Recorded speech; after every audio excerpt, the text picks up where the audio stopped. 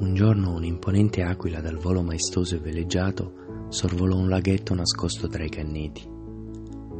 Attratta da un canto melodioso proveniente da quelle calme acque, si avvicinò e notò un elegante cigno dal piumaggio bianco notare spensierato.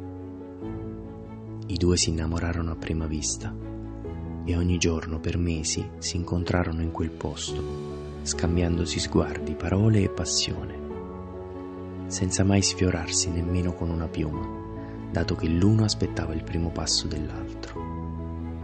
Una mattina l'aquila decise di rivelare tutto il suo amore al cigno. Si recò al laghetto e disse Non v'è giustizia in questo posto per una bellezza rara come te.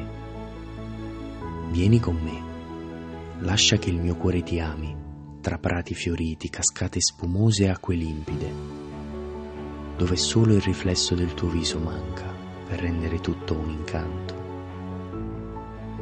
Il cigno commosso non aspettava altro e avvicinandosi si lasciò accarezzare, ma gli artigli robusti affilati del rapace gli graffiarono il collo lungo e affusolato.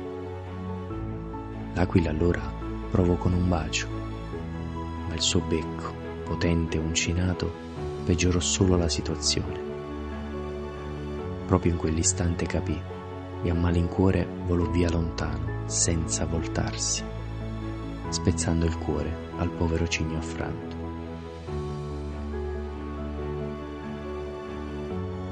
L'amore è anche imparare a rinunciare all'altro, saper dire addio senza lasciare che i tuoi sentimenti ostacolino ciò che probabilmente sarà la cosa migliore per coloro che amiamo.